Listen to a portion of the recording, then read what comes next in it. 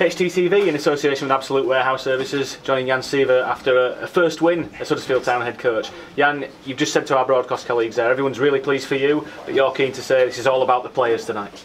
Yes, definitely. They won on the pitch and they left their heart on the pitch. And maybe, as I said right before in the press conference, at least what we can expect is 100% effort. And I wanted to show a different face because they were so disappointed after the game in Newcastle in the dressing room, and they showed it. And they know that I believe in it, and I believe in them. So today, they definitely deserve the credit of all of us. You said uh, in the pre-match press conference that after such a hard game at Newcastle with 10 men, you'd need some fresh legs. Yeah. You certainly gave the team fresh legs, eight changes. How do you think, in particular, Demeaco Duhaney, Karlan Grant on their first starts for us, the young players, but they did you proud tonight?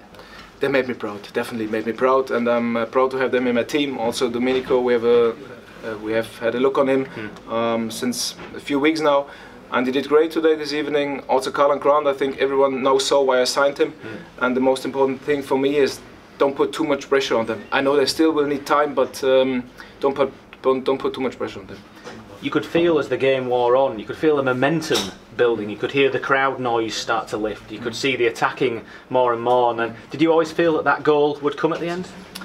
I don't know why, but I believed that the goal would come.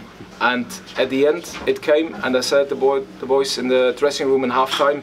So maybe we've just the one chance because Wolverhampton is very well organized and they're, they're doing great since the whole of the season. But at the end, uh, the boys deserved it so much and they put the ball in the net as a head coach, when you bring substitutes onto the pitch, you need them to make an impact. And I thought that Juninho Bacuna, Aaron Mooy, both really made impacts when they came on the pitch tonight. Definitely, and the, the three you mentioned now were players which I directly picked from the beginning. But they had tired legs. Also, of course, the head was tired because it was such a disappointment in Newcastle. But they showed it's a team who wins games. Hmm. It's not an individual, and today they showed it more than ever. Steve Mounié had a, a, good game. He had two big chances that he, he, almost made himself in the game. And then, how pleased are you for a striker like Steve to, to get that goal right at the end? It'll do him a lot of good, won't it? I think uh, that I'm so proud because um, you know as a striker you need that feeling of scoring and today he showed everyone that he's a striker and that he has really quality and I'm proud that he made his first goal. How proud and how pleased are you for the supporters as well? Because, like you said, they've had to wait a long time for, to see the team win, but you could feel at the final whistle that was a, a special atmosphere at the end. I think since the beginning, when I arrived here, they supported us right from the beginning, and it's incredible how brilliant they are.